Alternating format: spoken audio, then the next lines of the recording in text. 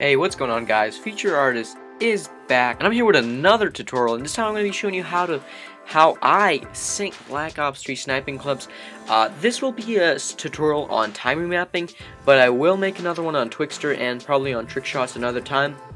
Uh, this is going to be a three-part tutorial series because this one is going to be the syncing, the second one is going to be the pan and crop, and the third one is going to be a color correcting tutorial where I'll make a green tutorial like in the little 8 second clip I'm about to show you guys of this edit. Party people know the name. Vic with a K if it's all the same.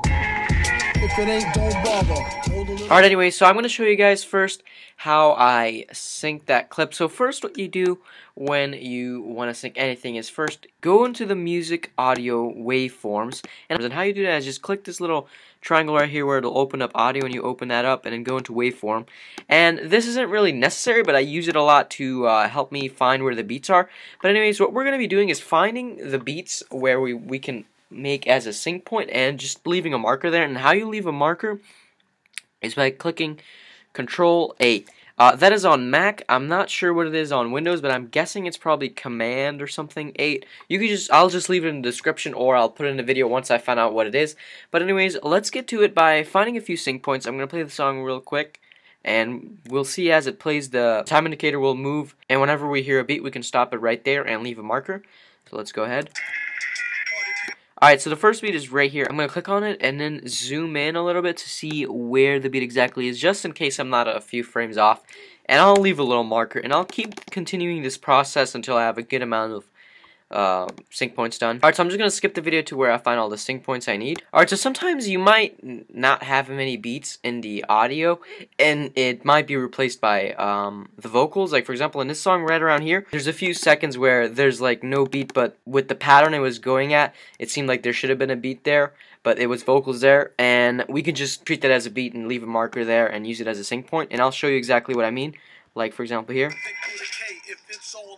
Right over here when he says if it's all the same, I'll just leave a few mar I left a few markers there because I'm going to treat that as a beat. But yeah, after you get a good amount of them, and I got enough for this quick little clip, what you're going to do is go over to your click, right click on it, go up to where it says time, enable time remapping. And what you're going to do here is find points where you can start syncing. So the first point obviously is going to be the shot. And what I'm going to do is click the little thing right here and it's going to leave a little keyframe. And the second point I get is when the sniper pulls back the crank or whatever it's called. But yeah, right about here when he is right about to pull it, I put another keyframe. And I skip it to uh, where he pulls it back in. And, but yeah, I'm just going to go and skip to where I did just about every single sync point and then I'll be back. After I get all the sync points, what I'm going to do is start splitting the clip on the shots, and I'll explain later why. But anyways, how you can split the clip is just by going up, click on edit, go down to split layer, and it'll split the clip for you. I'm just going to go and split every single sync point where it's a shot. Now what you do after this is align the shots to beats where you want them to. So the first one is obviously going to be on the first beat. The first shot's going to be on the first beat. And actually this looks like it's almost perfectly aligned. Wow, nice. But anyways, I'm just going to pull this back one. And then next what I'm going to do is do that to all the other clips.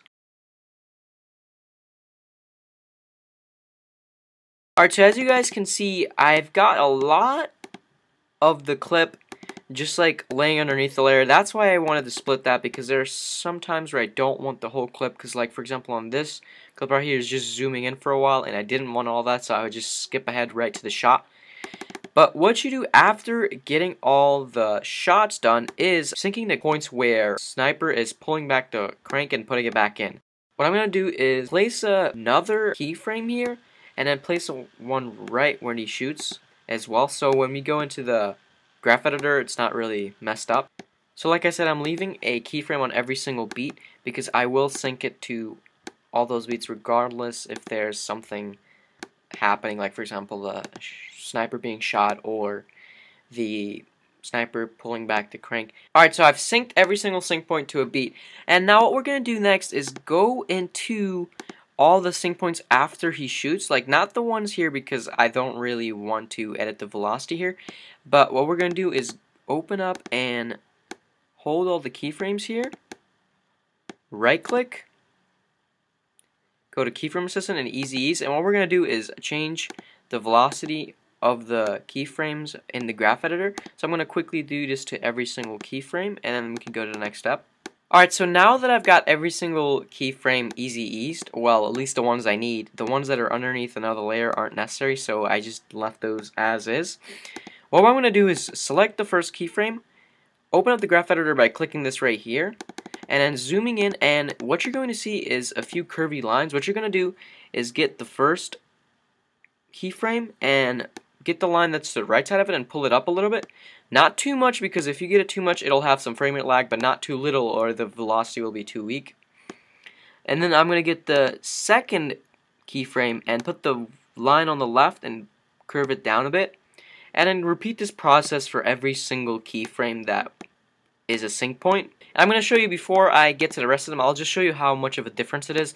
This part of the clip is has been modified within the graph editor and the rest hasn't. So I'm just going to quickly play it and show you guys how different it is.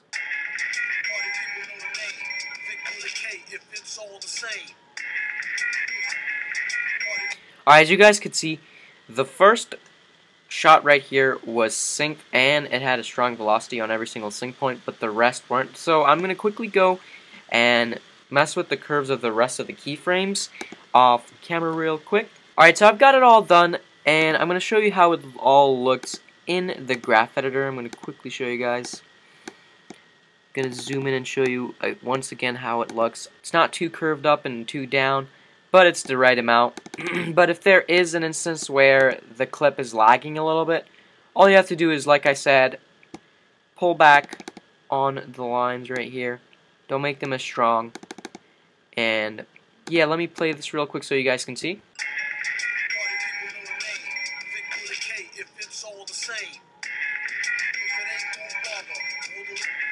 Yeah, alright guys, the sync seems to be pretty good. So yeah guys, hope you all learned a thing or two from this tutorial. Make sure to leave a like and subscribe if this did help you out.